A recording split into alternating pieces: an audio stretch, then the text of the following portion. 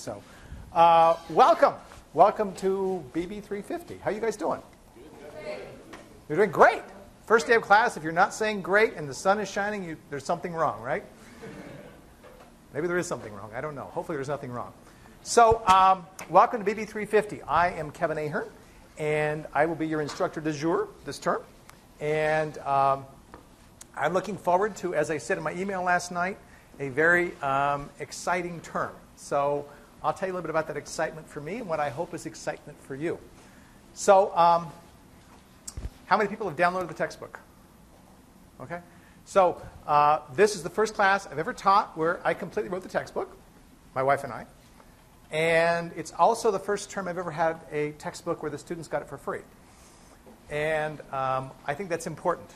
I think it's very important when I look at how much it costs to go to school, and I look at how much publishers gouge students for textbooks. That was the reason I created it in the first place. Um, and because it presents a view of biochemistry that um, I think is important, that I have focused very much on students. You're going to see as you look through that book, it's not like your standard textbook. A lot of the content in the class is going to be materials I'm going to be providing to you with figures and so forth that are not in that textbook. There's a lot of things that I'll be talking about, blah, blah. A lot of things that I'll be talking about that will provide you information. It may not be in the textbook. You may find things in the textbook that I don't talk about. Am I going to go and am I going to nail you on all these little trivial details? Well, I'll tell you my number one guideline. My number one guideline is that whatever I say in class is the most important thing. I am not going to go pick out obscure details of anything, anywhere that I haven't talked about in class and ask you on an exam. Okay? So the number one question I get is, how should I prepare for that exam? I say, go to my lectures. I'm videotaping my lectures. So I videotape those lectures because I think it's important for me to provide you other ways of learning the material. Okay? Yes, I want you to be here. And yes, I will make some very good incentives for you to be here. Okay? But I realize that if you came here and you were just totally focused, you still might not get everything that I had to say. So it's important that I provide to you other ways of getting that information. So that's why I write notes and highlights. And I've written you a textbook. Okay? So for me, that's very exciting. I can't tell you how uh, excited I am about getting this going. All right? It's the first term. You guys are guinea pigs. Okay? How's it feel to be guinea pigs? Yeah, awesome or nervous or is that, is that good or is that bad? That's good. Okay, all right. Well, uh, what you will see during the term is the textbook is still uh, going through some uh, changes, alterations, and revisions. And so what I will do is during the term, I'll post updates to the textbook. You can download those. Okay. So whenever there's an update, I'll send you out an email saying, "Hey, there's an update to the textbook. Download this one and use it." Okay. So we're covered pretty well right now for about the first three chapters of the textbook. We're in pretty good shape with stuff there. But you'll see some updates during the term that I'll provide to you that uh, will hopefully help you to better understand the material. So that's, I think, very important uh, for me to do. Okay. So that's my excitement. I love teaching biochemistry. I love teaching. Okay? You will not bother me too much. All right? If you come see me, if you come ask me questions, you come talk to me, I'm there. All right? I'm more than happy to meet with you and help you to learn something about this subject. And I find that a lot of people come into this subject with A, anxiety. How many people come into biochemistry with some anxiety? How many people feel, yeah. There you go. Double hands back there, right? So it's, it's a lot of anxiety, okay? Well, I think it's important. Uh, anxiety is something that I understand. I will tell you that the first time that I took biochemistry, I was so nervous I didn't know what to do. I hated biochemistry. And look what happened to me. Right? So here I am up in front of you talking about biochemistry. Right? I obviously got over my anxiety. Part of what I want you to do is get over your anxiety about it. All right?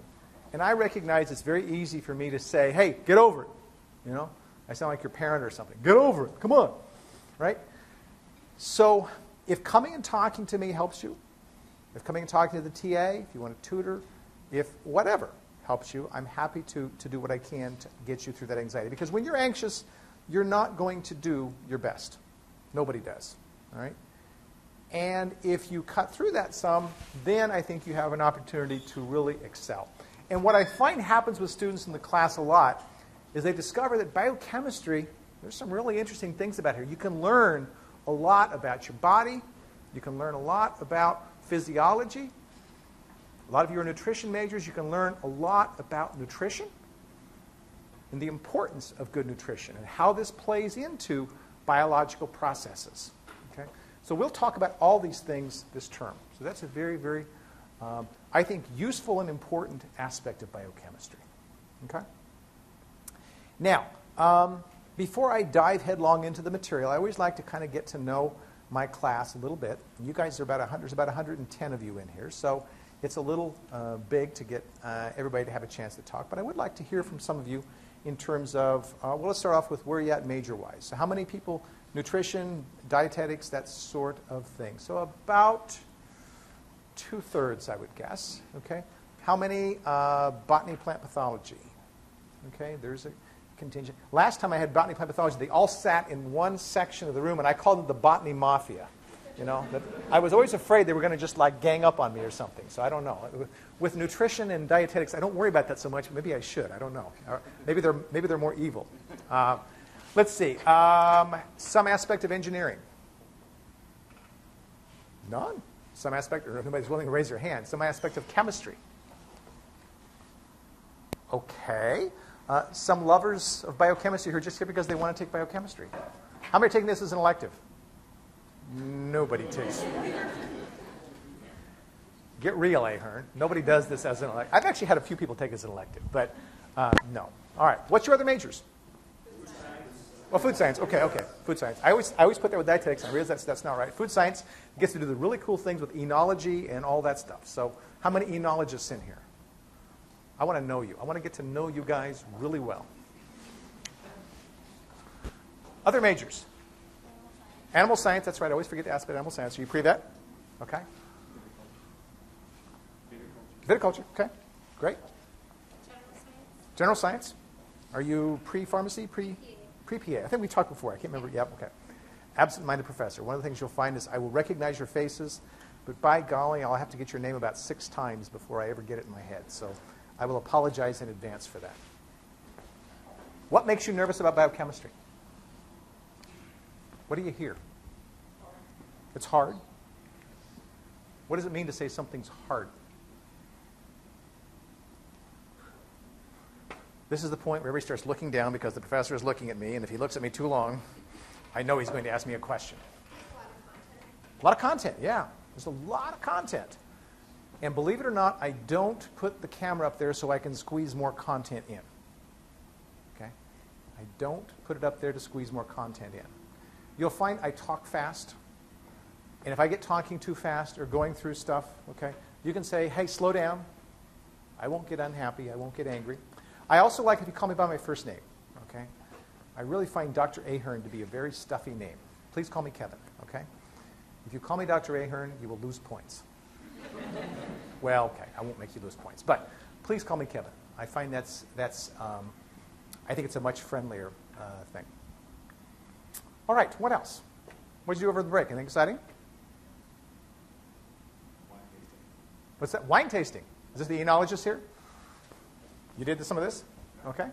Where'd you go? Uh, California, we did like nine different. Na- Napa Valley? Uh, yeah, Napa, Sonoma, Super Some good wines?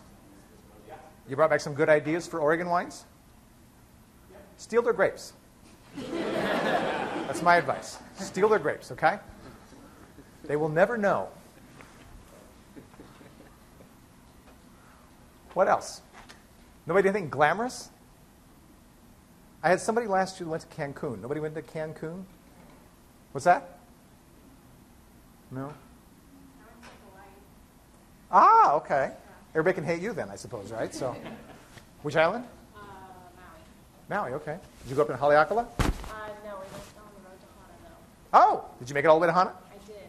How was it? Was it worth it? I never made it all the way. It's worth it, definitely.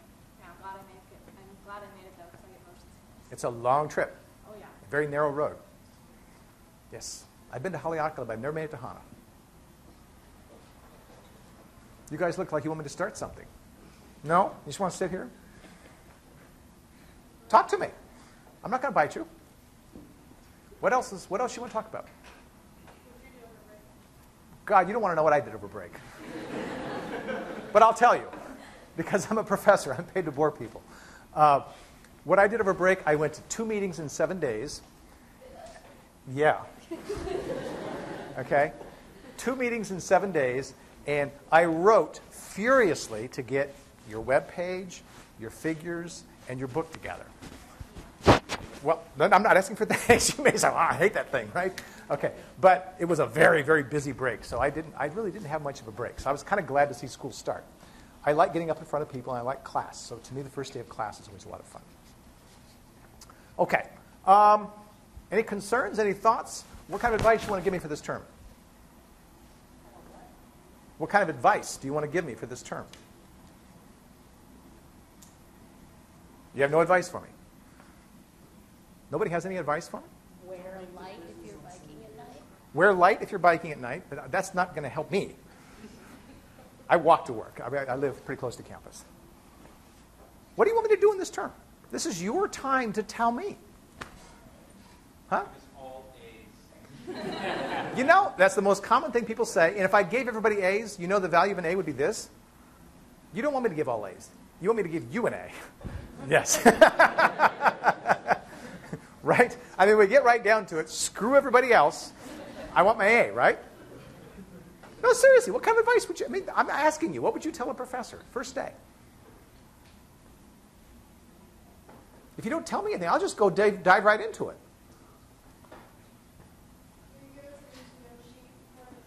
Well, I'll give you what? A note sheet for an exam? A need to know. Okay. Um, that's a, not an unreasonable request. Um, I do a couple things in that regard. Just, just second, I'll come back to you. A couple things. One is after every lecture, if you go to the web page, and by the way, the web page, Oregon State, EDU, Instruct, BB350, okay? You get there, you'll get to this page, not the one that has all the bouncing crap on it. Okay? Um, that's there. And when you click on, you'll see there's access for eCampus. You don't want the eCampus. You want the classroom because they're doing a different, they're doing a different textbook as well than you are. right? You'll get to this page.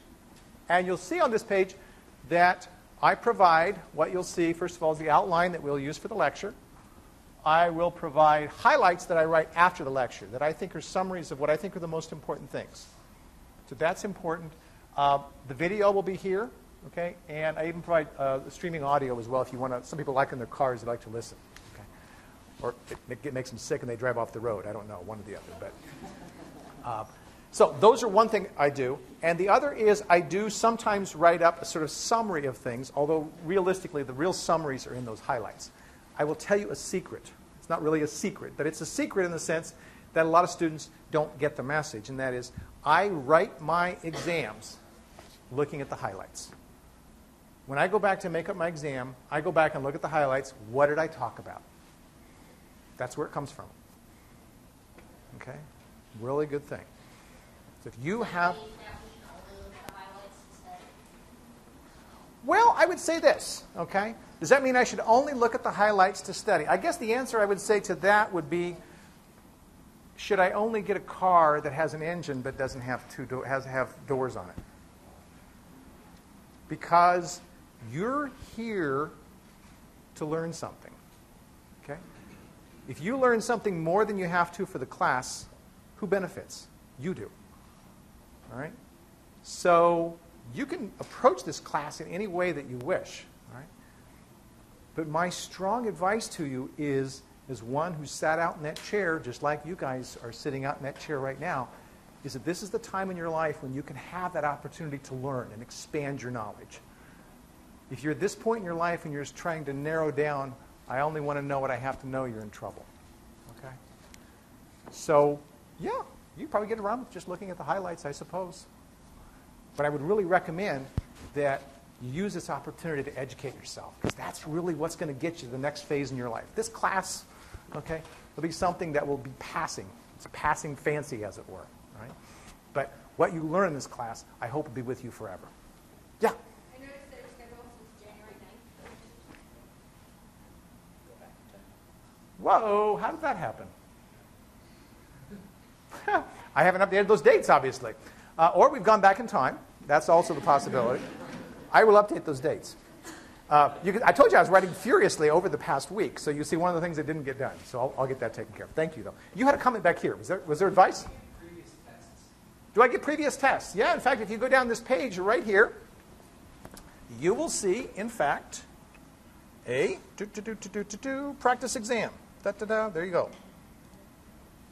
Well, it's kind of like having those dates, isn't it? So, yes, I do. If you look in the book that I, the free textbook I gave you, near, uh, I think it's chapter 10, you'll see there's one section for what I call mid-level biochemistry exams, and then there's another one for uh, general biochemistry exams. This is for the general biochemistry exam. It's the exams I gave in this class. So yeah, you'll see those, you bet. And there's keys there also. Okay? And yes, I have problems that you can use, etc. Um, I'm really puzzled what that's not. Funny. Okay, anyway, I'll, I'll get that fixed. I hope my outline works, because if it doesn't work, then we're going to have fun talking today, aren't we? All right, well, let's see how that goes.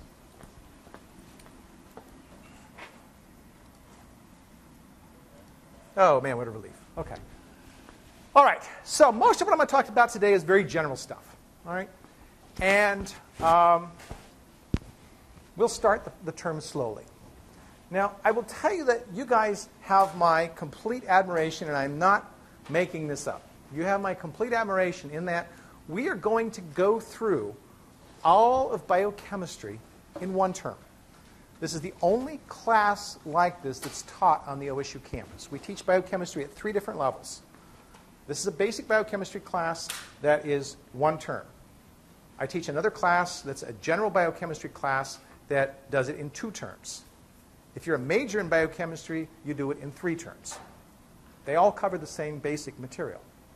Who's going the fastest? Okay. Now, the good thing is we don't go into as much depth as those other classes do because we don't have the time to do it. But we're still going to cover a lot of material. Going to be a lot of material. So you really have my admiration for that. And yes, I recognize that um, things go kind of fast, right? Four lectures a week, okay? Four lectures a week. We have three midterms and one final exam. Okay? So, yeah, it's, it, it really is fairly fast paced. If you're getting behind, come see me. Okay? Um, I don't keep specific office hours. If you look on the thing, you'll see a link to my calendar where you can see if I'm free or not. Because if I'm not in a meeting, I'm in my office. And if in my office, you are always welcome to come by. If you want to schedule a meeting, I'll schedule one for you. Or if you want to just come by, you're always welcome to come by. If I'm talking to somebody else about some other bullshit, okay, then you have priority. If it's not bullshit, then I'll say, hang on, okay? But that's my policy, okay? So I want to help you if I can. So, general things, biochemistry. Oh, by the way, uh, if you go to the class webpage, you'll see a link to the syllabus. I expect everybody will read the syllabus, and I know everybody expects everybody's going to read the syllabus. You'll get a question on the first exam on the syllabus. Okay? Make sure you read the syllabus. The syllabus is required reading. All right? Absolutely required reading. There are ways you can lose points if you don't read the syllabus. Okay. One last piece of business before I talk about this. I am videotaping the lectures. For a lot of students, they look at a day like today and they say, oh, wow, man, Ahern is videotaping the lectures, so I know where I am going. That's only fair if I can join you. Okay? No. The point is that I've done the numbers. The students who do well in the class are the students who come to class. All right? That camera is there to help you learn. That camera is not there to drive you away from this class. When the weather is really beautiful outside, what's going to happen is the numbers are going to do this.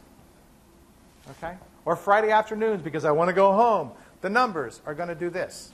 And when the numbers start doing this, I start having extra credit for people who are in class.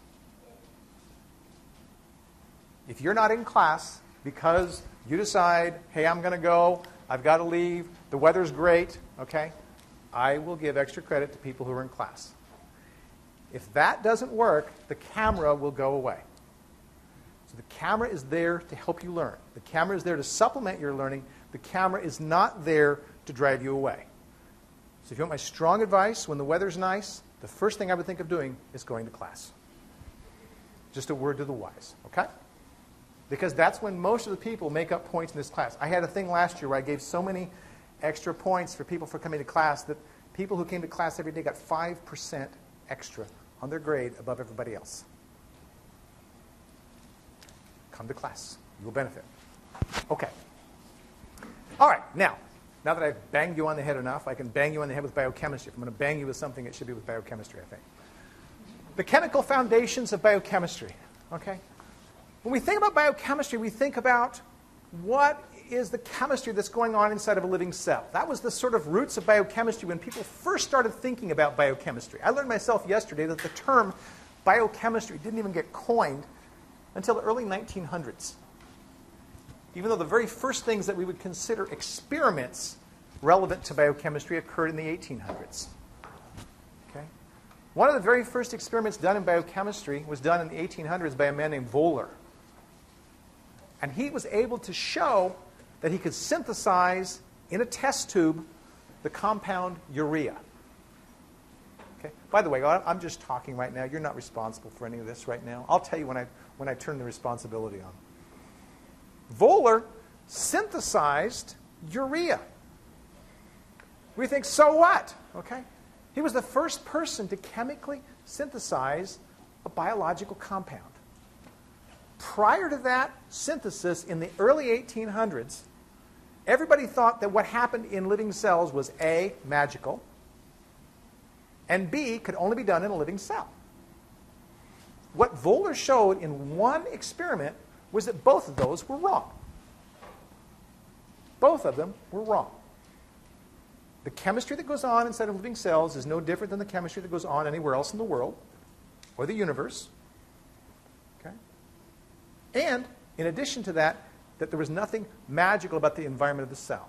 You could take it outside the cell and it would work. Okay? That was a real revolution. It was the very first time people realized that, yes, it might be possible to understand the chemical reactions that happen inside of cells. Okay? Well, we fast forward almost 200 years to where we are right now. We know the existence of virtually every chemical reaction that occurs inside of cells. They're known as metabolic pathways. You're going to see some metabolic pathways this term. Okay? The information that we have in terms of the chemistry, that's long gone. Okay? How does that chemistry happen? Well, that chemistry happens because of enzymes. Enzymes catalyze those reactions. And enzymes are pretty remarkable things, as we will see. But all enzymes are is catalysts. They speed reactions, they don't change reactions. Okay? You learn that in basic chemistry. Enzymes speed reaction, uh, that, that catalysts speed reactions, and enzymes are just catalysts. They're all they are. Okay? We know the complete DNA sequence of human beings, as well as a few hundred other species. The DNA, of course, contains all the information. You hear this how many times? All the information that the cell uses. Okay? We know all the information. What we're still unraveling, and we probably will for some time, how that information is used, how enzymes are controlled, how metabolic pathways are controlled. You're going to see a fair amount of that this term. And what you're going to understand as a result of learning how metabolic pathways, for example, are controlled is you are going to know how your body works. I find one of the real joys for me in teaching biochemistry is people go, wow, this really is interesting, and I thought it was going to be terrible. I hope you see. Maybe you're just not saying, maybe they're just saying that because they come to see me. I don't know. But I hope that they really think that because that's a really exciting thing. Okay, well, let's think about this in general terms. Okay, the chemical foundations of biochemistry. This, these are a series of names and organic molecules, and I'm sure you've all taken an organic chemistry class, and if you haven't, you should. I don't teach this as a chemistry class. Do you have to have biochemistry to do this well? I think it's a darn good idea. It is a prerequisite for the class. I think it's a darn good idea that you do. And I certainly expect that you're going to know what these general categories of molecules are that you should have gotten from organic chemistry. So I'm not going to review them with you. Okay? If I'm talking about a carboxylic acid, I think you should know what a carboxylic acid is. I'm talking about an amino acid, you should know what an amino acid is, etc. What a ketone is, what an aldehyde is, these sorts of things. Okay?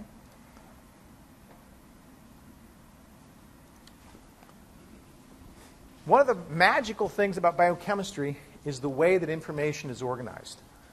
And information in, in, in um, cells is really remarkable. Cells build macromolecules to store information, to use the information, and to do the work that they need to do. They also use it to store energy, and that's what you see on the screen. DNA, everybody knows. Okay, ATGC, and you know the base pair rules, et cetera. We'll talk more about that. Proteins made of amino acids. Proteins are what I call the workhorses of the cell. Workhorses of the cell.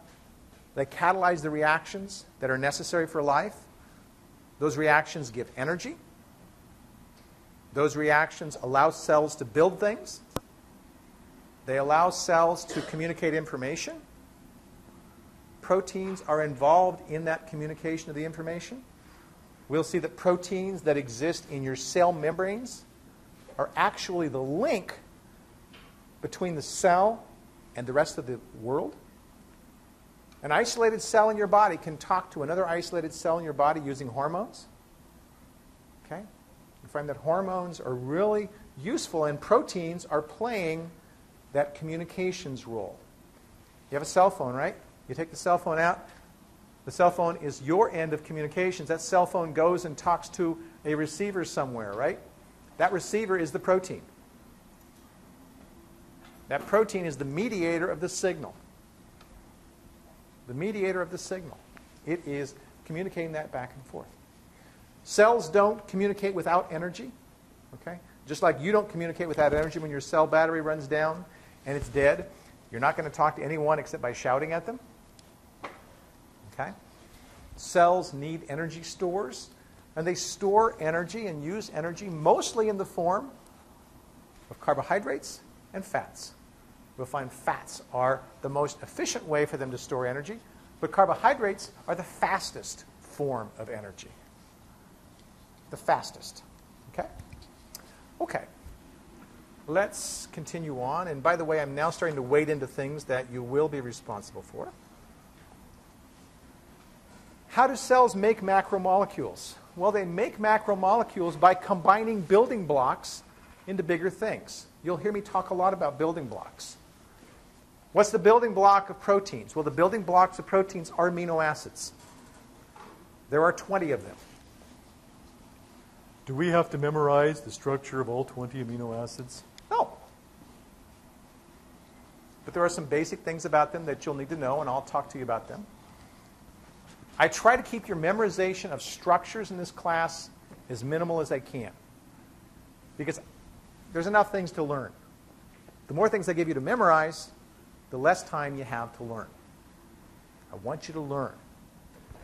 But there's a certain amount of, if you want to walk the walk, you've got to talk the talk. So there's a certain language, and part of any class, especially a biochemistry class, is learning the language. So that's something that we're going to have to get comfortable with and familiar with is learning that language, and that's where you're going to think memorization. Okay? There's going to be some things that you're going to need to learn in that respect. Okay, so we see various things being put together. There's amino acids. One amino acid gets linked to another. It makes two of them join together covalently. There's one nucleotide being linked to another nucleotide. The two of them get joined together to make a dinucleotide. Here's one sugar joined to another sugar. We get these together and they make a disaccharide. Okay? Macromolecules just continue this process over and over and over and over. By far, the most giant molecules that you have in your cells DNA, by a long ways. Proteins don't even come close, although they are very large themselves. You'll probably hear me say the statistic over and over during the term, but I just find it remarkable that in every cell of your body, every single cell of your body, if you took the DNA from that one cell and you stretched it out end to end, one cell, smaller than your eye can see, holds seven feet of DNA. That's pretty hard to get your head around. It tells you it's got to be wrapped up, it's got to be coiled up. Because if cells don't do that, they're going to be seven feet big to hold it. Okay? DNA is a mondo, humongous molecule. That's good because the more information your cells have, the better off you are. DNA has another magical property, and that magical property is that it contains enough information in each strand of the double helix to make the other strand. That's why the base pairing rules are important. G pairs with C. In this case, it's a, a um, it's actually RNA with DNA. They've got U's in there. But in each case, that pairing, okay, specifies what the other strand is going to be. Not a problem.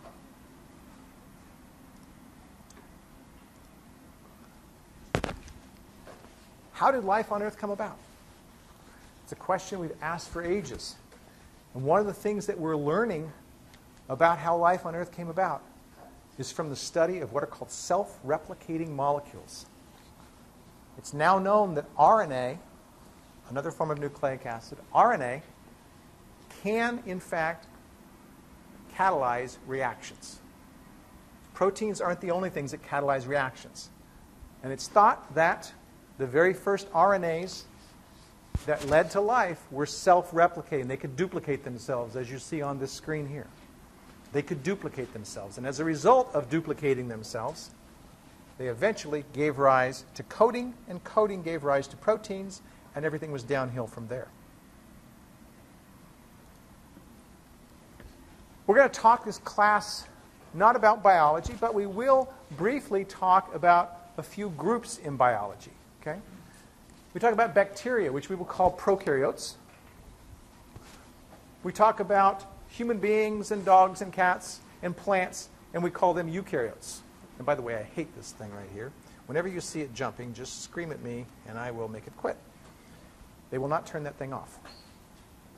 Okay. Archaeans are sort of an odd group, and we won't really say much about them. I only have one thing I say about them during the whole term. But when I talk about prokaryotes and eukaryotes, what you'll see is that these divisions in biology are important from a biochemical level. Prokaryotes do some things differently than eukaryotes do. What you will be amazed about is how little difference there is. Very, very little difference. If we look at, for example, bacteria, I've got a gut full of E. coli. Okay? E. coli is very abundant in my system. E. coli smells like poop. It's why your poop smells like poop, in fact. Okay? You have billions of E. coli in your digestive system. They're single celled organisms. Okay? Single celled organisms. Those organisms use exactly the same genetic information as your cells do. Exactly the same. The genetic code is the same. More importantly than that, when we look at the metabolic pathways that those bacteria have, they're almost identical to yours. When we look at the structure of the proteins that are involved in catalyzing those reactions, in many cases, they're almost identical to yours. We do find differences in biology, but the similarities that we find are absolutely remarkable. Absolutely remarkable. So, where there are differences, I will point them out and I'll say prokaryotes versus eukaryotes. Prokaryotes are all unicellular, all single celled organisms. Eukaryotes are mostly multicellular, but there are some unicellular eukaryotes. Yeast, for example, is a eukaryote, but it's a unicellular organism. We use yeast to make beer, you enologists. We use it to make bread. We use it to make gasohol. We do all kinds of things with single-celled eukaryotes like yeast. A really cool eukaryote I used to work on when I was, did my postdoc is right there, slime molds. Okay? Have you ever seen slime molds before? You like slime molds cool? Yeah. They're really bizarre little organisms. They have a, they have a part of their life, life cycle that is unicellular and a part of it that's multicellular. Really cool, weird little bugs. Okay. One of the big differences we see in prokaryotes versus eukaryotes is in the composition of their organelles. An organelle is a substructure inside of a cell. What we see is that prokaryotes have virtually no organelles. Okay? They don't have a nucleus. Their DNA is just floating around inside. Our cells have a nucleus. It's a place to hold the DNA, Gesundheit, a place to make the RNA. What organelles give a cell is the ability to sequester something. Sequester it. You can keep it isolated. Okay? A cell membrane, yes, we both have cell membranes, but that's not exactly an organelle because if you didn't have a membrane, you wouldn't be a cell. Mitochondria. Mitochondria are what we call the power plants of the cell. You have basic cell biology or basic biology, you've learned about mitochondria. We say that mitochondria are where the ATP is made. Probably 99% of the ATP in a cell is made in the mitochondria. It's no surprise we call that the power plant of the cell. Okay? We'll talk more about mitochondria later. The endoplasmic reticulum. Again, look at all these. None of these in prokaryotes except for the membrane. All right? The endoplasmic reticulum is an organelle in eukaryotic cells that's important in making certain kinds of proteins. Certain kinds of proteins are made there. Chloroplasts, of course, you botanists in here, the botanist, botany mafia, it's not a mafia now, I'm very happy to hear. The botany mafia knows that chloroplasts, of course, are organelles that are in plants, which is where photosynthesis is occurring. Okay? Very, very important um, things. So, prokaryotes don't have those, eukaryotes have those.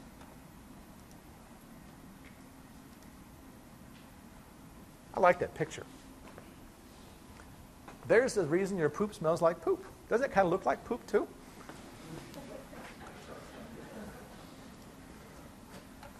For what it's worth. Extremophiles. These are the archaeans. I talked about. I said I mentioned briefly the archaeans. The archaeans are uh, more, the most recently discovered form of life on Earth, and they live. The reason they're the most recently discovered is they live in these bizarre environments. Okay. They can live under conditions that many other cells would die in. Very alkaline environments, very acidic environments, very salty environments, very hot environments. Okay? They're called extremophiles because they can tolerate many different environments that other, other cells cannot tolerate. Here's a schematic of a, an animal cell. Okay? It just shows some of those organelles that I talked about. It has a lot of other structures. And no, I'm not going to ask you to draw artistically an animal cell on an exam. Okay? I just show this to you to give you sort of an acquaintance about what we're looking at in terms of structures that are there. Plant cells differ from animal cells, mostly in having chloroplasts, but also in having different structures in their cell wall. We don't really have a cell wall as such. We have a membrane that's kind of gushy, mushy. Plants have a pretty rigid membrane. Pretty rigid membrane. They use cellulose to make up their cell wall. We don't have that in ours. So plants are a lot harder to work with if you're trying to stick things into them when you're working in a laboratory, for example. Okay? Plants have chloroplasts. Plants also have mitochondria. We don't think about that so much. We think about, oh, they can use the sun. Well, of course, the sun is only out 12 hours a day, right? In Oregon, in the wintertime, it's out about, seems like about four hours a day, right? What's a plant doing? It's dark. It's still going to have energy. Mitochondria are very important for plants when the, when the light is not there. Another thing that cells have that's important is a cytoskeleton.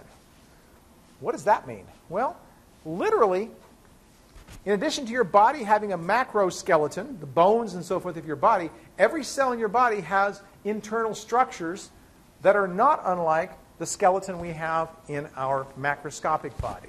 It's called a cytoskeleton. These fibers have been stained to illustrate for you. Those little blue guys there are nuclei. Okay? These are individual cells. But you can see these fibrous structures that are in there that give support and structure to cells. So the cytoskeleton is a very important uh, thing for um, our cells to have.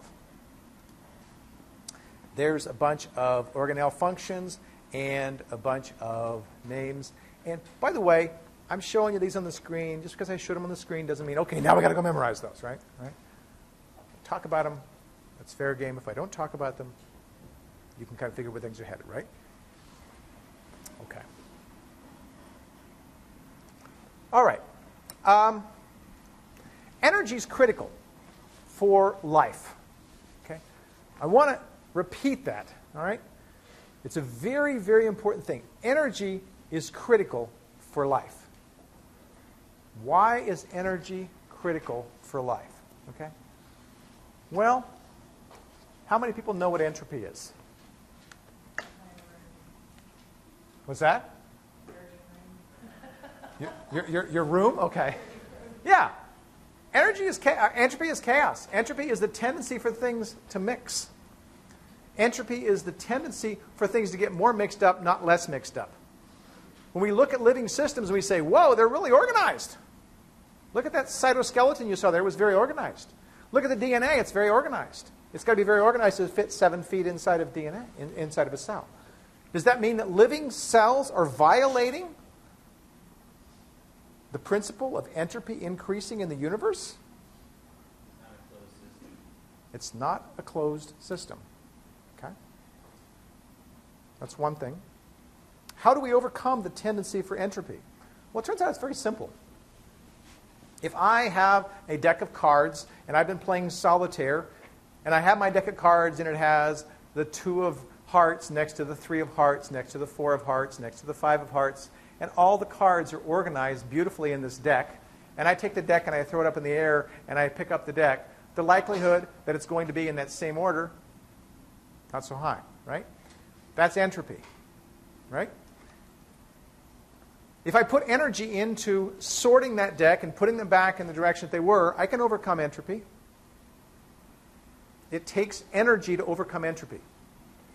That's part of the reason that cells absolutely have to have energy. We'll see there's others. But if cells cannot overcome that tendency towards entropy, they will not exist. They require energy to do that. Now we think of cells, oh, I have to have energy to jump and run and jog. I'm a jogger. I like to jog. Okay? Yeah, I have to have energy for those things as well. But at the very most basic level, cells have to have energy to overcome that tendency for entropy. Okay? Where do they get the energy from? Well, there's quite a variety of ways in which cells get energy, but the way that they store energy is really interesting. They store energy in a couple of forms. The most immediate form that they store it in is ATP. Everybody's heard about ATP. ATP is what I call the gasoline of the cell. Okay? Gasoline's great because you can go anywhere you want and you find a gas station and you can get filled up and you're on your way. It's a universal energy source. ATP is a universal energy source. Cells can use it to make molecules. Cells can use it to send messages. Cells can use it to duplicate their genetic information. It's a universal source. Okay? High energy phosphates are great ways of storing energy. That's what, that's what ATP is a molecule that has high energy phosphates. Putting three phosphates together on the end of a molecule, okay, is something that three phosphates really don't want to have happen. They repel each other. Phosphate is negative. Put one negative next to a negative and join it with a covalent bond. They're repelling each other, but they're held together by a covalent bond. Guess what happens when somebody releases that covalent bond? Poof! They fly apart, energy is released. Put three of them together. That's what ATP is adenosine triphosphate. One, two, three. Man, they really do want to get apart. You give them the chance to fly apart, energy will be released. ATP is a great source of energy. That's an immediate source. I need energy right now. If I decide to go and this building catches on fire and I want to get out of here as quickly as I can, I'm going to run and I'm going to burn ATP and I'm not even going to think about it. I'm running the Corvallis Half Marathon in two weeks, less than two weeks now. Okay? I'm going to burn some ATP there, but I'm probably not going to have enough ATP all by itself to run that race. I've got to have things that can make ATP for me. It's kind of like a little gas all generator as I get going along. that's going to do that. So I have other molecules that have stored energy that can be used to make ATP because my muscles are going to use ATP. Fat. Okay? You guys thought I was just fat, but I'm just carrying this around so I can run the half marathon. Okay? Fat is a great storage of energy. One of the things that runners do before a race, and no, I'm, I'm not a racer, I'm a runner. There's a very big difference, by the way. Okay? Runners run because they enjoy running. Racers run because they hate running. They want to see how fast they can do it. Okay? So I'm a runner. I like to run. All right? All right. Forget what I was saying. Oh, I know what it was. So runners, racers and runners, before a big run, will do what's called carbo loading. How many people here carbo load? Everybody? Oh, okay, you guys know what that is. All right. Why am I carbo loading? Well, carbo loading, I'm eating a lot of carbohydrates. Carbohydrates give sugars, and sugars are very, very good quick energy sources. And my muscles and my liver can store those for a short period of time. I don't store sugars like I store fat. Fat, I really work to get rid of. I really do. Okay? Sugars I don't get to keep with me for very long. In fact, the sugars that I have in my body in the form of carbohydrate, I have about a 24 hour supply of carbohydrate. 24 hours. If I don't eat for 24 hours, I can run my carbohydrate down pretty low. Does that mean I'm going to die? No. It means I've got other, other ways of making energy. But I can exhaust my carbohydrate fairly readily. So if I boost my carbohydrate, at least transiently, that can help me during a run. And yes, it does help during a run. I usually like to go get a big thing of ice cream before I run. That's always a lot, of, always good. All right. So these are important for us uh, to stay alive, to run, to jump, to do all the things that we want to do. Okay. What am I doing on time? Just about out of time. There's adenosine triphosphate. Okay. There is ribose. There is aden- there is adenine, and there's those three phosphates that really don't want to be next to each other. Think about what you're taught about in physics with respect to potential energy. Okay? Potential energy. Imagine that you take a ball and you roll it up a hill. What are you doing? You're increasing the potential energy for that, that system, right? Because once you let go of that ball, it rolls down the hill, right? Okay? That's a very, very important visual uh, thing to think about, and that's exactly what's happening with ATP. Cells are putting together phosphates that really don't want to go together because when that bond between them is broken, energy will be released. That is a lot of potential energy. A lot of potential energy. And being able to use that energy to do meaningful things, whether it's working, jumping, running, studying, watching the tube. Hope you're not using, doing too much of that. Okay, that is all very useful. Okay, I picked this one out because it's kind of bizarre. You know, we think about the various bizarre forms of energy that are out there. It doesn't get much weirder than an electric ray. These guys kill their prey by electrocuting them. And they do it because they generate an enormous electrical potential. We'll see a little bit about how that occurs later in the class. But it tells us that living systems are perfectly capable of doing the very same things that human beings go out and try to make the systems.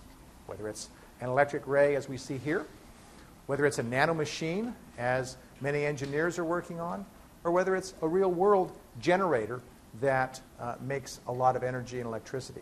We'll see examples of all these things this term. And with that, I will shut up. See you guys tomorrow.